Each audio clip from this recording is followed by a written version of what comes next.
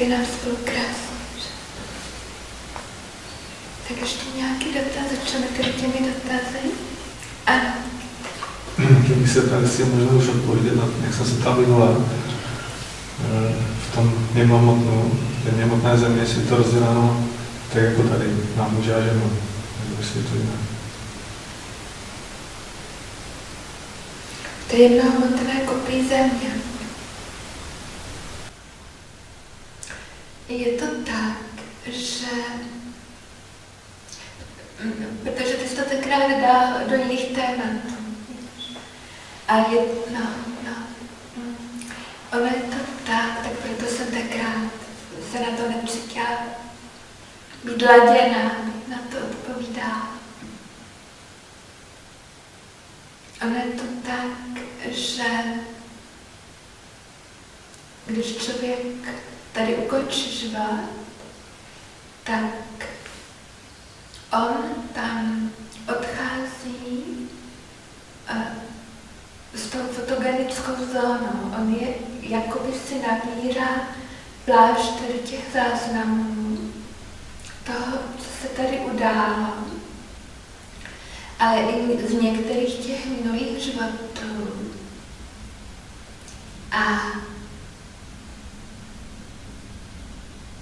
on tam sice je, té jemnohmotné kopí země, ale to je vlastně zase tedy ta vázanost té hmoty na hmotu, na takzvané, aby on někde mohl být.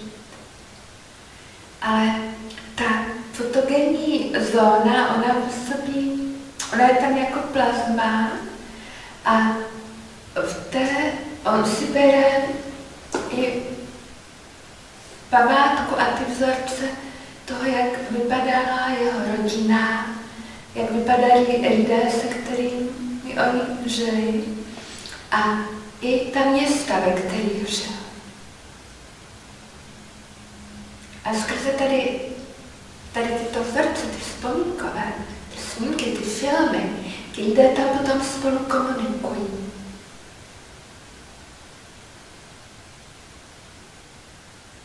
Takže ono je to tak, že oni tam třeba jsou v té jemnohmotné kopii a oni se navštěvují tak, jak žili dřív. Že věděli, že když se přijdou na návštěvu, tak je tam stůl, kolem něho židle, a mě to bylo ukazováno nedávno. Je to jedna bytost, jeden člověk, mě to takto ukazoval. To je právě eh, úžasný zážitek, s kým se s vámi podělím. Že tedy mě trápila nezhoda s jedním člověkem, který už je delší dobu na takzvaném jiném a byla jsem, měla jsem vůči němu dluh, který vyplýval zase z toho, že on nepochopil mě. A já jsem ho prosila, povala se k němu, protože to byla ta situace, jak to tedy vyrovnat, když on tady není. Takže jsem dělala to, co jsem vám říkala, že hnám jeho rodu, jeho rodině. A to bylo velice pěkné, že on tedy přišel ke mně. Jsem měla zrovna takový stav toho pozvednutí uh, mysli, uh, víc tedy na tu kontaktovou úroveň a on ke mně přišel a ten moment, kdy to nedorozumění vzniklo, jsme si znovu zahráli. Ale ne, že já bych to chtěla hrát, Vlastně tam, to je ta smyčka, kdy eh, energetická, jak říkám, elektromagnetická, která eh, zůstává, zůstává jako tedy ty body, skrze který potom se eh, je, ještě vzniká potom takzvaný ten kruh, ten neřešitel, že? A takže on ke mně přišel, protože, a ten kruh mezi námi stále byl. Když on to tedy se přitělo, že to už má jít spravit, a já, oba dva jsme chtěli, já jsem mě odvolala tam, on to uviděl a přišel a byla vám mezi námi ta elektromagnetická smyčka, ten, ten zážitek. On, on to nedorozumění vzniklo tím, že on sice byl, jako, on mě to dovoluje, abych to řekla, já to budu říkat, protože ty věci jsou smazány, že? Ale tak to, to mezi lidmi třeba vzniká. Že tedy, ale potom z toho vzniká velká věc, jako něco, jako co bylo výrazné. Opravdu, protože se to tedy muselo řešit. Ale um, že on si myslel, že jsem hloupá, takzvaně, a když přišla v nějaké situaci, kdy já jsem měla něco řešit, tak já jsem si řekla, aha, tak podle tebe jsem hloupá, tak jako co mám teda dělat? Tak já jsem se stáhla do sebe. A v té situaci, kdy jsem já měla něco řešit, tak jsem to neřešila způsobem, jaký bych normálně něco řešila, anebo s jinými lidmi řešila. Já jsem se stáhla jak želva do krovky, strnula a zůstala. A tak vlastně reaguje člověk, který situaci nerozumí, anebo ji nedokáže řešit.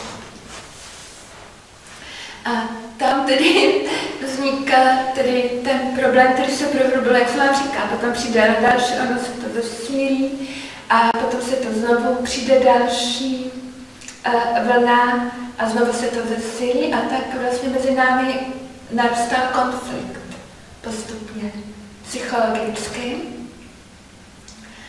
A hrotil se a hrotil, až tedy se dostal do extrémních situací. Oni se tam vyskytly ty extrémy, potom vlastně vzniknou extrémní situace, kdy zase já jsem se stáhla a nic. A, a vždy to tedy bylo méně vhodné a méně vhodné a to jeho jednání méně vhodné a méně vhodné. Zase ty reakce na to. A takže on ke mně přišel, když jsem ho volala, aby, abychom to tedy dořešili. A on tedy uh, tam to znovu sehrál, že něco řekl na základě toho elektromagnetismu, že tím, že se přiblížil, tak to tam vlastně vznikla ta mentální myšlenka. A já, když on se blížil, tak jsem byla ráda, že to budeme řešit. A když to řekla, tak jsem se zase tak nadechla. A nevěděla se s tím rady a otočila se od něho pryč, že půjdu, přestože jsem ho volala. Ale jakmile to bylo tak silné pro mě.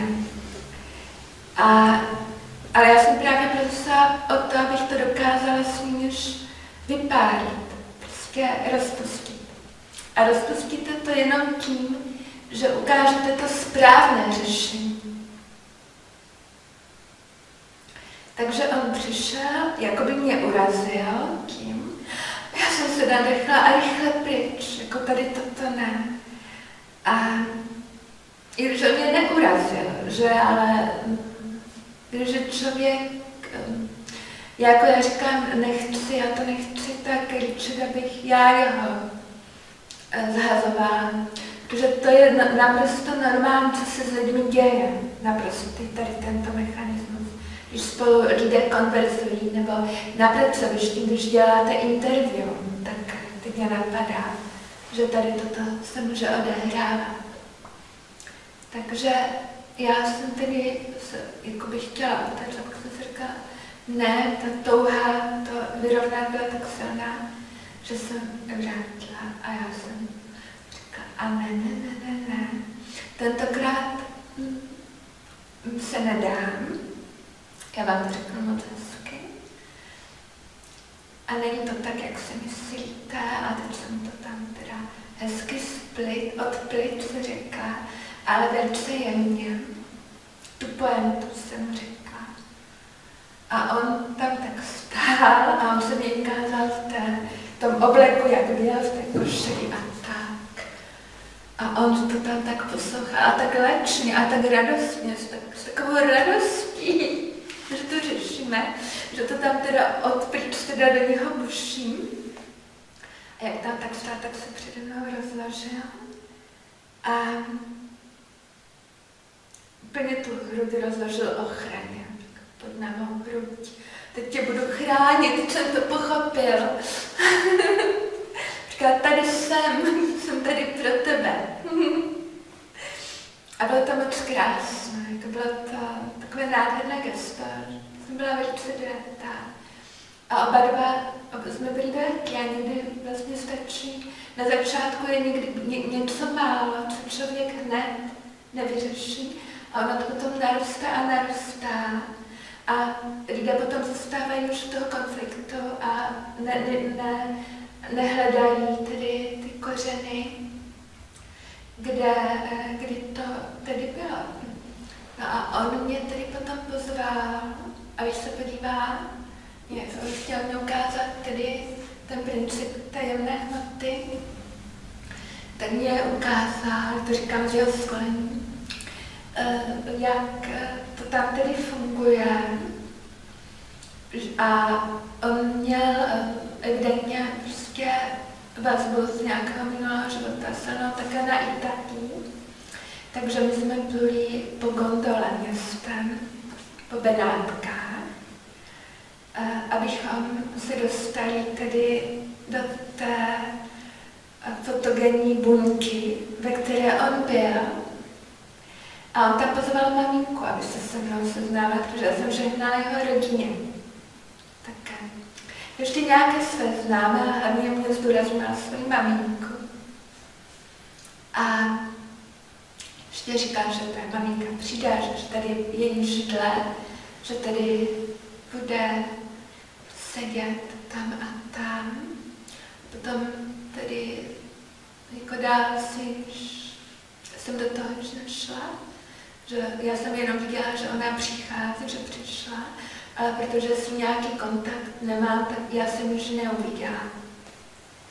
Protože s ní jsem se v životě tedy.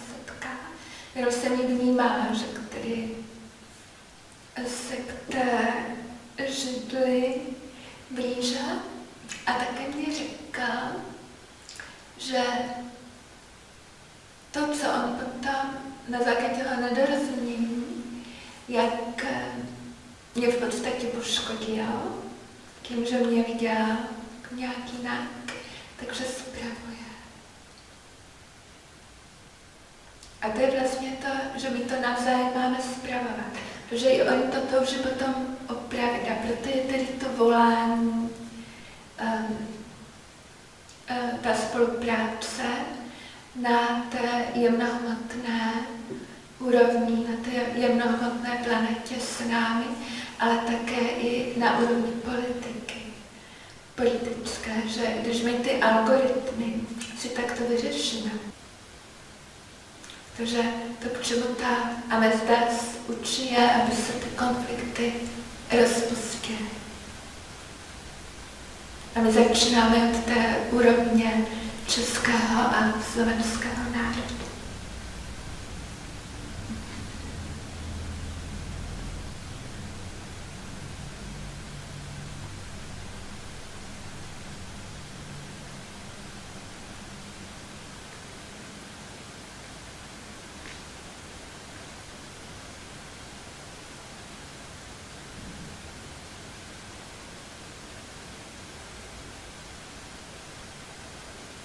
Takže já se tedy vrátím k tomu. Takže on se mě představil jako muž, on se mi potom ukazuje, e, ono je to tak, že ta fotogenní zóna, ona si pamatuje všechny naše životy, teď jak jsme vypadali. Proto já říkám, já vůbec nevidím žádnou akašu. No. Já, já neříkám, že ona neexistovala. Ale ona z nějakého důvodu, mě to znovu duchovno potvrdila, ona byla zavřena. Asi vzhledem kvůli těm transformačním procesům. Že tedy ta kniha jako Akaša je člověku zavřená a myslí, protože lidé se také dostávají teď k různým pokusům a mohli by s ní pracovat. Ale tady tato fotogenní zóna, on ten člověk, když odchází tak uh, na ten jiný svět, tak on si z ní z těch všech životů ty vazby na ty lidi, do té, když jde do té jemnohmotné zóny, ne když jde do zásvětí, ale když jde do té jemnohmotné zóny, on si to nabírá by takové obaly, po kterých on pluje. Takže proto on mě třeba vzal eh, na, na, na to, abych já přišla tam do té jeho fotobunky, potom k té mamince, těm některých jeho známým, eh, kteří tedy také zesnuli, tak mě bral po té kondole. Ale také mě eh, bral možná proto, že já k té vodě mám vztah, že, že s ní pracuji na, s tou vodou jako, jako takovou. Protože to byla ta plazmatická fotogenická. Protože ta fotogenní zóna, ona některými těmi charakteristikami odpovídá eh, některým eh, znakům té plazmy, tak jak tedy my máme. Takže tady toto je potom tak, že jestliže třeba někdo tady chce ubližovat nějakému duchovnímu člověku a jeho nějaký přítel nebo blízký, anebo blízký člověk je již na té jiné straně, ale nikoli v zásvětí to nemůže. Zásvětí to je taková trestná zóna. A pokud již je tedy v té alespoň v té první zóně, té jemnohmotné planety, tak, tak může mm, e, přijít tedy k tomu člověku, který takto ubližuje a, a upozorňovat ho do té jeho duše, s tou jeho duší nebo duchem komunikovat.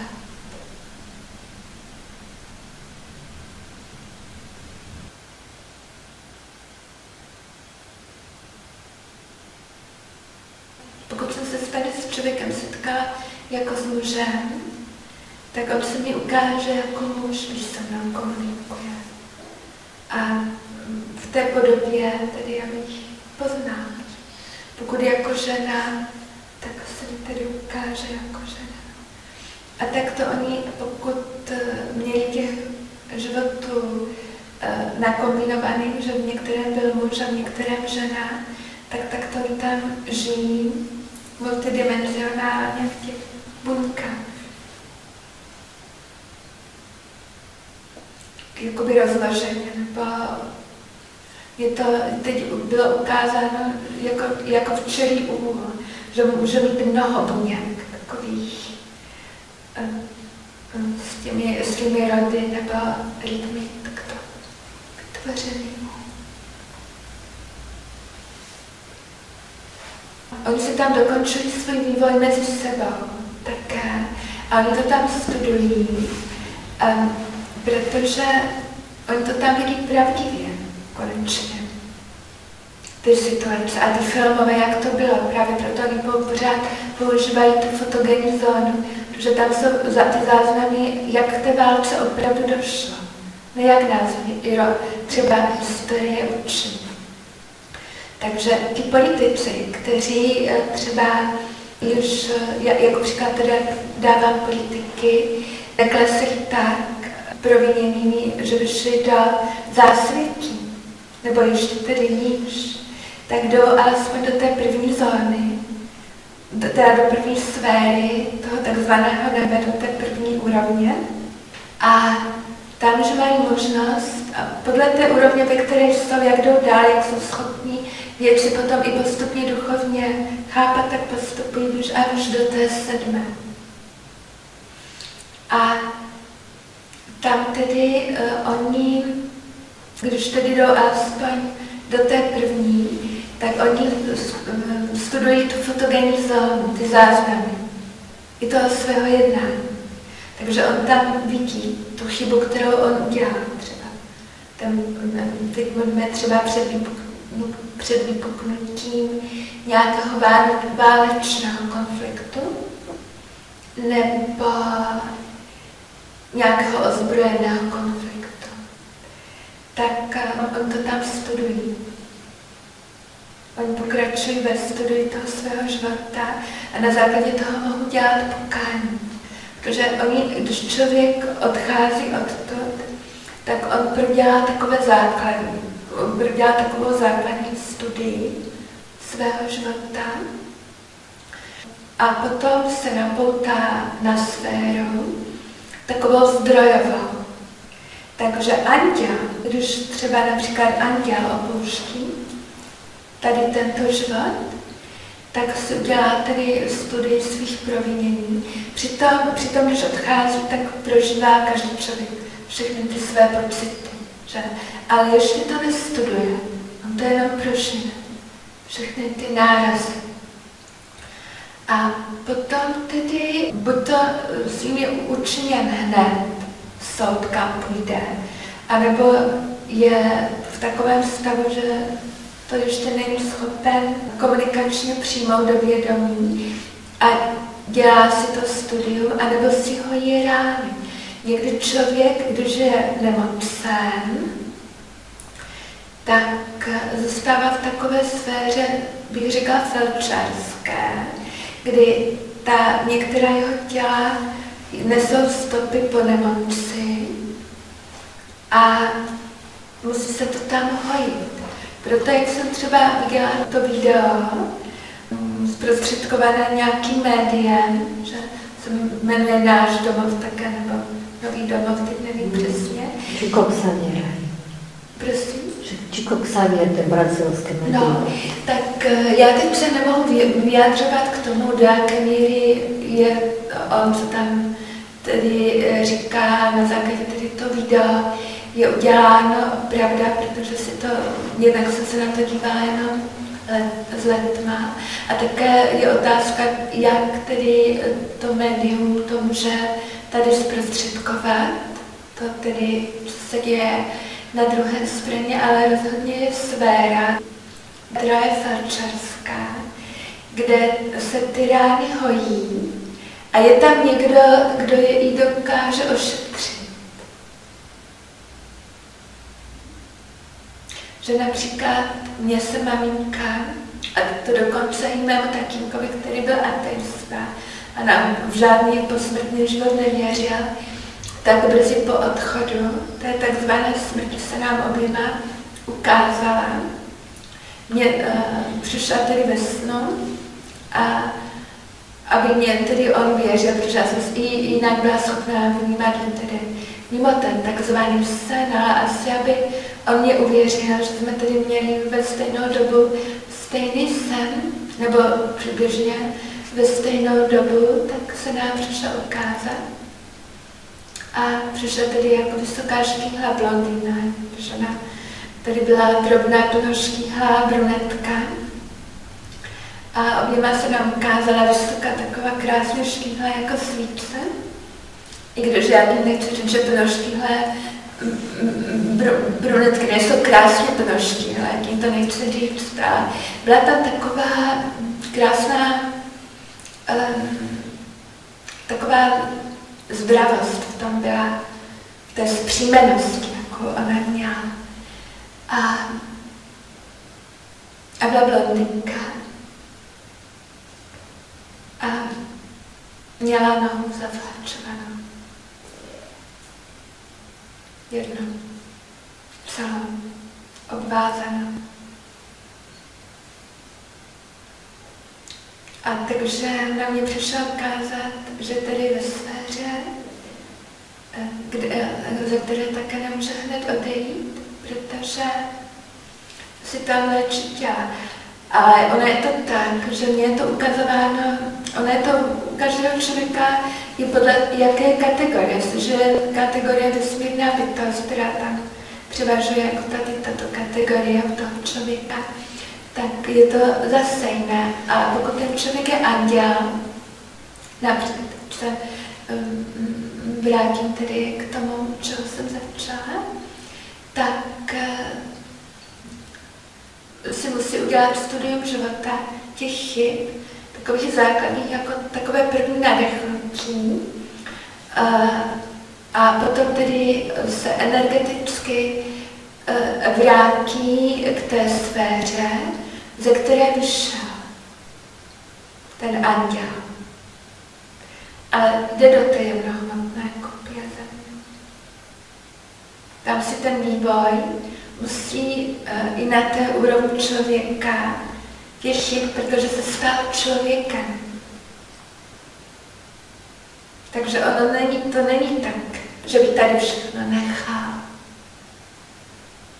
A teď šel tedy do tam, kam patří. On tam se napoutá energeticky s těmi svými eh, rody andělskými nebo andělským rodem, ke kterému patří, protože je multidimenzionální a stejně musí do té hmotné protože on se stal člověkem a zpracovává tedy tu hmotu. A má tedy dát přínos pro tento svět tím, že té jemnohmotné kopii, kde nejsou ty astrální útoky. On tam ale jsou také. Um, samozřejmě i na tu jemnohmotnou. To není tak, že by tam na ně nebyly útoky. Ale nejsou tam uvnitř, jako tak rozkladné, takže oni mohou. Oni ne, nebrání jim vidět to, co se tady děje na světě, z toho hlediska té objektivity.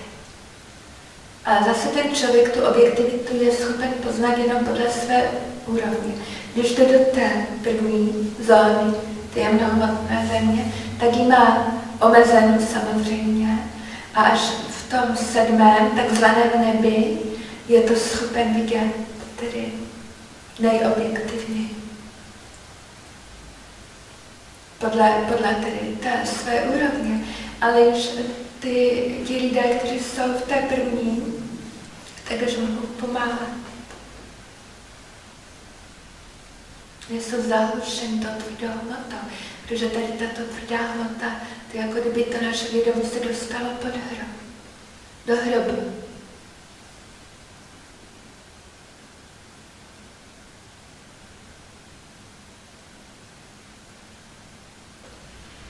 A teď je tedy otázka, jak se kdo, kdo přichází pomáhat, eh, dovolá k tomu člověku. Pokud ten člověk, člověk je v chaosu, tak se do té jeho mysli moc nedovolá, nebo pokud nenávidí.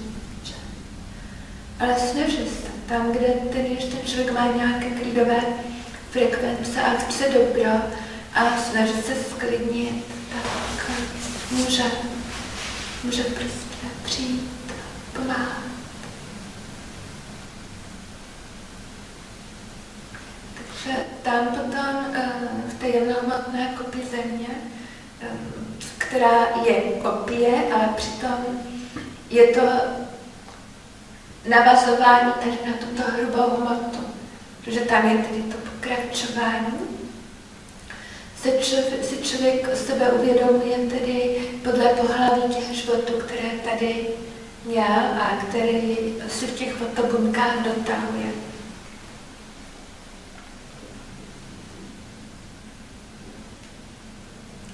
A podle toho tedy se vnímá jako muž, podle těch životů, nebo jako žena, nebo jako obojí. On je tam ten člověk schopen vnímat se najednou v těch buňkách si to dotahovat. protože ta karma v těch uh, buňkách to spojuje. Že většinou se setkává se stejnými skupinami lidí nebo se stejnými prohřešky. Ano. Můžu se zeptat, třeba, dejme tomu, že ten člověk žije v té, v té jednohmotné, té různých vrstvách a jedna jeho část může být na zemi ještě nějakým způsobem, protože eh, vlastně měl několik životů, odešel a, a pak třeba se vrací znovu. Ne, pokud se inkarnuje, tak to tam opouští všechny činnosti opouští. Ano, ano. Pokud, pokud ten člověk jde do té jemnohmotné země, tak si již většinou nepočítá s inkarnací. Tak to, pokud um, tam je ten předpoklad, že půjde až do toho sedmého nebe, že si to projde. Pokud je jenom v té první zóně, nebo uh, v té druhé, těch prvních, tak potom se inkarnuje. Ale proto tam eh, je eh, ta možnost potom, že on zase tam čeká na to dotažení, protože se se má inkarnovat zase v určité té struktuře těch buněk.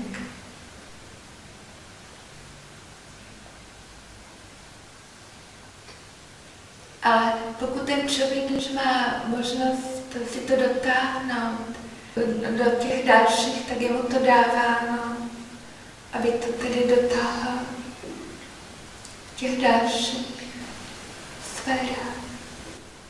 Protože hm, není už takovým řešením,